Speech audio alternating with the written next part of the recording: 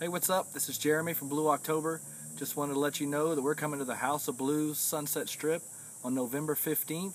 We'll also be at the House of Blues Anaheim on November 16th. We're looking forward to it. We hope to see you there. Take care.